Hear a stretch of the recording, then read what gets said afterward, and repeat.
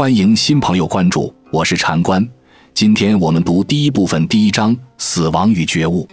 愿我们的导师之智慧之光照亮我们的心灵深处，愿我们深刻领会其教导，并将之付诸行动。自我们咕咕坠地之时，四大河流生、病、老、死便伴随着我们的步伐，引导着我们不懈向前。从踏入母亲怀抱的那一刻，直至生命之终章，人间的每个灵魂无一幸免于此循环，终将离世。这是我们共同的宿命，唯一未知的是时辰之定。生命之河引领我们逐渐步入暮年，不论外表如何年轻，岁月终将在我们身上留下印记。绝不可自欺欺人，沉浸于年轻与健康的错觉中，误以为时光尚长，无需等待死亡的预兆显现，因为它早已悄然降临在我们每个人身上。我们的诞生。便是死亡预兆的开始，因此必须从现在开始深刻反思死亡的现实。若等到死亡临头才去思考，届时将难以面对。最关键的是，如果我们在此生中忽视了对死亡的深思熟虑，当死亡步步逼近时，我们将无法觉悟。应从现在开始培养觉悟习惯和修行的力量，将在我们临终之时成为我们的指引。确实，借由精进的修行，万事皆能化繁为简。因此，若我们在生命中深思死亡，将会发现这能在我们临终之际强化我们的修行与觉悟。生命之河不仅引领我们渐渐步入老年，亦带领我们顺流而下疾病之河，最终引我们至死亡之岸。细思极恐，当今世界上层出不穷的疾病种类。慢性疾病潜伏，或许伴随数十载，甚或终生；而有些病症突如其来，无法医治；另有疾病悄然发展，待我们察觉时，已是病重难愈。当我们病重到了危急之境，死亡的暗示便开始显露无遗。倘若我们有所觉悟，每个人都将能辨识这些暗示。众多人生于美国这片土地，得以接触丰富的知识资源。然而，真正至关重要的乃是正宗的佛法教义。我们或许有幸结缘佛法，获得宝贵的教导，但常常缺乏恒心和努力去实践所学。关于死亡、临终教导以及意识转移、中阴的教义，乃是至高无上的法门。对于修行者而言，破瓦法易于获得，也是最为容易掌握的。我们应尽可能多地接收此类教法。从而增强与坡瓦法修行的联系，使我们在临终之时能达到更加淡定从容的境界。死亡这不可避免的真理是毋庸置疑的。正因如此，我们无需对死亡心生畏惧。若在生命的终末时刻感受到极度的恐惧，其结果无非是陷入六道轮回，再次被卷入生苦死的无尽循环。我们应当深思这一点。在藏传佛教的传统中，诸多尊贵的喇嘛能够预见自己的终结时刻，他们往往能确知自己何时离世。人们好奇，他们是如何毫不疑虑地预知这一时刻的？答案其实颇为简单：他们通过积累对死亡征兆的丰富经验，已经觉悟，因而能够精确地预知感官衰退之时。这使得喇嘛或瑜伽修行者得以在深奥的佛法中安住，实现难以置信的成就。例如，在临终过程中保持禅修姿态，身体出现收缩现象，一种接近究竟正悟的征兆，乃至实现红身究竟正悟的显著标志。在这些伟大修行者遗体火化后，会显现额外的征兆，如形成舍利子 （rain cell） 及发光的珠子。舍利子之生成。源于这些杰出瑜伽行者在生命终末之刻，坚守于其喇嘛所传授的核心教义之中。在西方文化中，老年人往往在养老院中度过余生，等待死亡的降临。他们常常选择不依赖自己的后代，或拒绝接受他人的援助。许多时候，他们的子女由于繁忙的生活和工作，无暇顾及父母的需求。若子女有能力照料自己的父母，那么父母应当接受这份孝心与关怀。这样一来，子女便能亲眼目睹父母逐日衰老的过程，同时见证他们临终的时刻，从而自然而然地引发对死亡的深层思考。在我们的一生中，我们常常过分关注对身体的保养和物质环境的维护，而忽略了对死亡时刻的反思。显然，我们无法带走任何物质财产，唯一伴随我们离去的只有意识。更准确地说，只有意识能够领悟和体验苦难的真相。最重要的是，正是在临终过程中，意识得以转化为智慧。我们将绝大多数的时间和精力投入到维护物质世界和身体健康上，然而，我们真正应当做的是专注于精神修行。意识到这一点，有助于转变我们的关注点，并激励我们坚持日常的修行实践。以昏迷状态为例，可帮助我们更深入地理解这一现象。当我们处于昏迷状态时，我们的身体和意识并未真正分离。我们只是失去了对自身状态的感知，因此无法感知身体发生的变化。这与临终过程中的体验相似，在那一刻，是我们的意识在经历一切，包括恐惧感和人生经历。当然，可以继续提升原创度。为此，我将进一步改写这段文字，使用更加独特的表述方式，增加新的观点和深度，同时仍旧保持原文的核心意义。我会尝试融入更多的文学性语言和比喻，以符合中国顶尖小说家的风格，并且在保持原文含义的基础上，增加更多的内容和细节，以进一步提高其原创性。重写的内容如下：在探求关于终末时刻的奥义、领悟大圆满、大手印等书圣的坦陀罗诸法门时，我们必须时刻铭记，这些不仅是教诲，而是智慧的灯塔。照亮我们通向解脱之路，它们不仅是知识的源泉，更是我们心灵深处的指南针。我们应致力于将这些教义内化于心，使之成为日常生活的一部分。这样，当我们行至生命旅程的终点时，这些教义如同内心的明灯，照亮我们从中阴的困惑中解脱出来。若我们未能在平时深入钻研这些教法，即使在生命的最后关头，有人为我们吟诵《西藏度王经》（A Tibetan Book of the Dead），这些智慧的种子也难以在我们心田中发芽。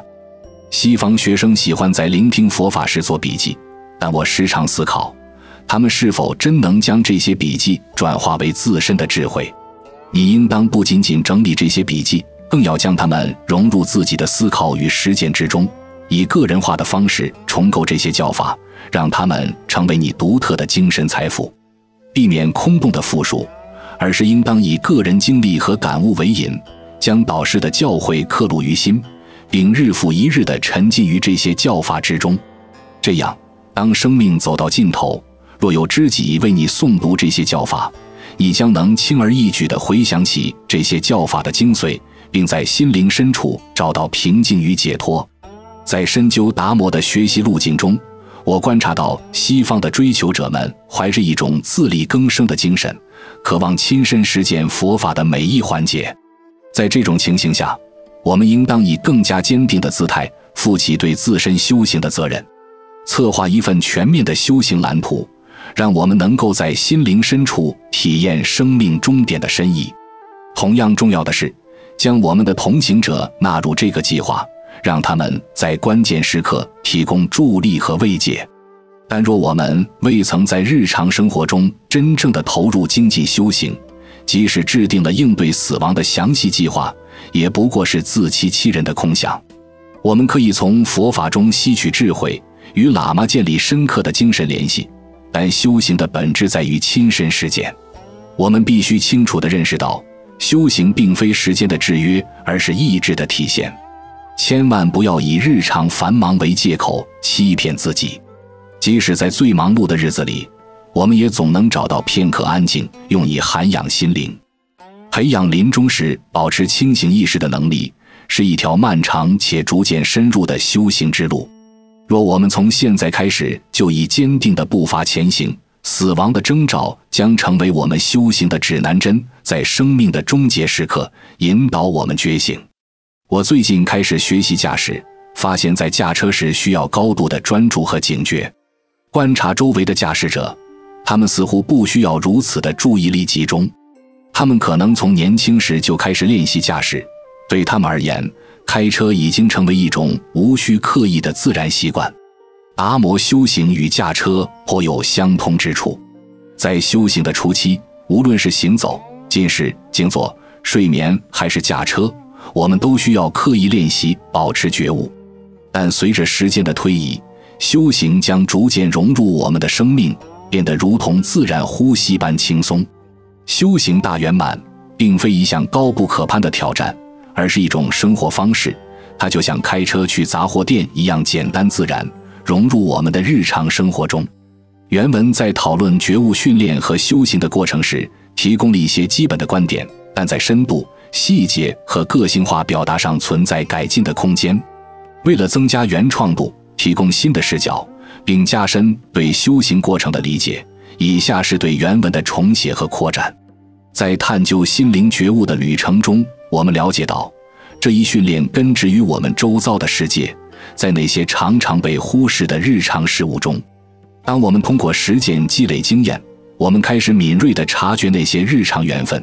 这些看似微不足道的事物，实际上成为我们禅修安住的催化剂。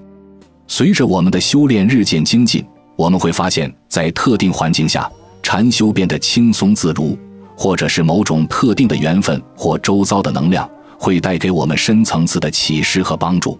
这不仅提升了我们的警觉意识，也加强了我们安住于本性见性的能力。因此，对外部环境的深入研究。以及我们与之互动的方式，成为了修行中不可或缺的一环。正是这些日常的互动和行为，在总体上丰富并强化了我们的禅修体验。在这个过程中，唤醒和维持修行的动力至关重要。我们必须认识到，当身处疾病或痛苦时，记起并坚持修行显得尤为困难。觉悟不是从天而降的恩赐，而是一个逐步实现的过程。这是我们必须时刻铭记的。我们不能期待立即获得觉悟或瞬间掌握修行的技巧，因此，我们需要不断提醒自己修行和觉悟训练的持续重要性。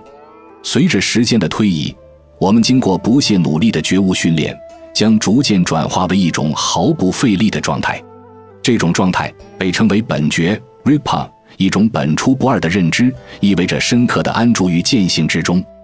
这是一个将日常生活与深层次的精神实践融为一体的过程，其中包含了对心性的深刻洞察与不断的自我觉察。通过这种方式，我们逐渐达到了与自身本性和谐共存的境界，成为了真正意义上的修行者。原文中的故事虽然动人，但在深度和细节方面存在一定的欠缺。为了提升原创度，并且保留原文的核心意义。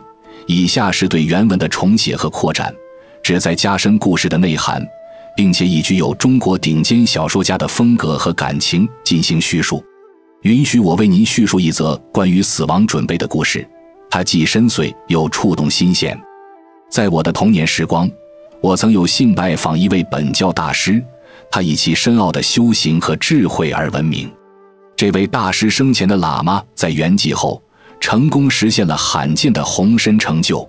大师居住在一个朴素的小室内，其简陋的桌上静静地摆放着一座精巧的佛塔。当时的我充满好奇和顽皮，向大师提出了许多问题。我对那座小佛塔特别好奇，便问及其意义。大师平静地回答说：“这座佛塔是他为自己的圆寂准备的，届时他的遗体将被安置于其中。”我感到困惑，因为大师身材魁梧，看似不可能放入那般小巧的佛塔。于是我提出疑问，大师微笑着回答：“他必须通过修行使自己的身体得以适应这个佛塔，否则拥有佛塔也无用。”他的话语中透露出对自身修行成就的绝对自信，仿佛已经预见了自己成就宏深的一刻。多年后。我得知，这位本教大师的身体在圆寂后真的开始显著缩小，几乎要达到红身的奇迹。然而，在关键时刻出现了意外的转折。大师曾严肃地吩咐他的侄女，他圆寂后的七天内，无论发生什么，都不要打开他的房门，并让他宣誓承诺。但那个年轻的女孩，出于对叔叔的关切和好奇，大约在第五天时忍不住打开了房门。这一行为意外中断了大师身体的变化过程。如果那时他能遵守承诺，不打扰大师的圆寂过程，大师或许真的能够完成红身的转化。这个故事不仅令人深思，也映射出在修行道路上的坚定信念与外界因素的微妙影响。大师的故事成为了一段不朽的传奇，让我们反思生死、修行与信仰的深层含义。以上就是我们本期分享的全部内容。我是禅官，期待您的留言互动。我们下期再见。